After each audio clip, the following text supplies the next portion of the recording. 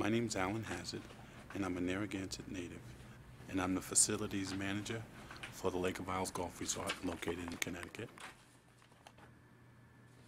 I'm one of a handful of traditional wampum artisans that still make the traditional beads.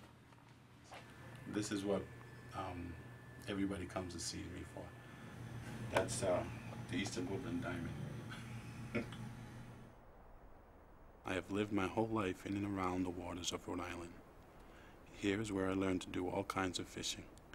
We would spend most of our summers walking for miles along the coastline with nets and rakes, looking for blue crabs and quahogs.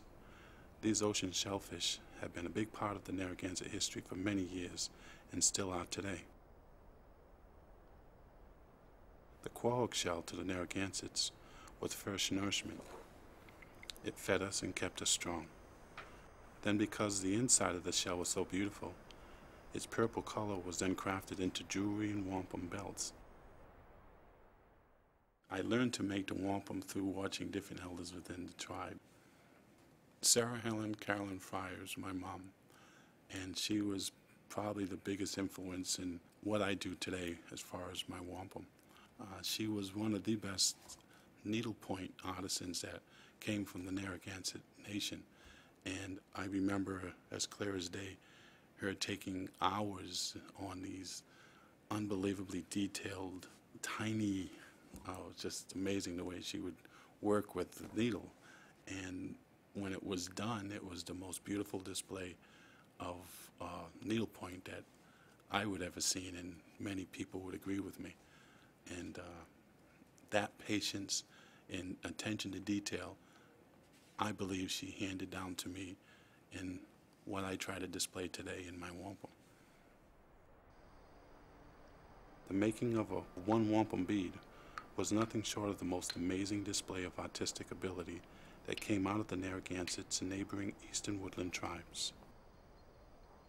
Literally thousands of these beads were made over the centuries with nothing more than raw tools, taking hours of sitting and rubbing these shells on the side of ocean stone that was tumbled in the water. Eventually, these little square pieces of shell would become round. And then when the Europeans came, what they did bring that was very useful was the steel, where we could use the fine drills to put a better hole in the wampum. And that is when we was able to make the tubular wampum beads, like I do myself today.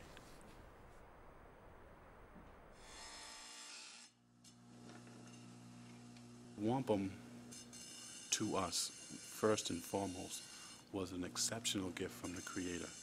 It wasn't so much the value, but the beauty and time that was put into a wampum bead was, just amazing.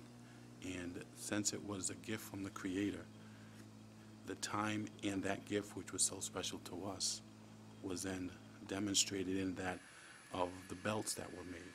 So depending upon the treaty or the agreement that we were making with the other tribe and or organization, we would make different designs in the wampum belt to depict what the treating was going to be about. The money value that came through, or was that it was labeled with later, um, came because the Europeans saw how we used it. But when we gave a gift of wampum to a neighboring tribe, let's say the Narragansetts to the Pequots or vice versa, it was done with the utmost sincere respect for everything that they have done. So nowhere in there did we ever view it as an exchange of, of currency. It to me has to be understood that this gift from the Creator is nothing short of sacred.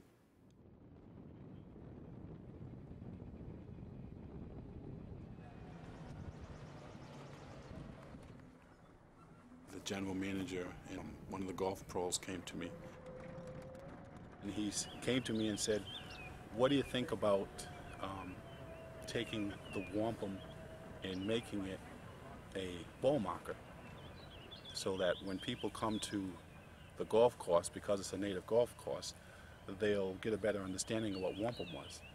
And uh, when he first said it, because here they have wampum points over at the casino, it, it, it kind of hit me as something that I didn't want no part of, because too many people uh, in the general area and schools and just through my whole lifetime see wampum as, as uh, Indian money. So it, it kind of rubbed me the wrong way.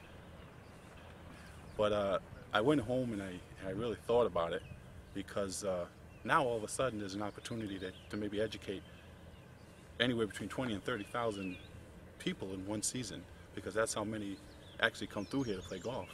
And in that educating, they'd, they'd get a piece of wampum from me and the wampum would tell the story of the reality of what it was and not the way it's perceived today. So it, really changed my way of thinking, really gave me an opportunity to maybe educate the people that didn't have a clue that it is a sacred item to the Narragansetts and the Pequots who have given me the opportunity to work here. And so we went back, we sat down and we spoke about it. And part of the agreement was they'd put that card in so that they could read and see what wampum means to the Eastern tribes. And in that way, I think it's a tremendous thing.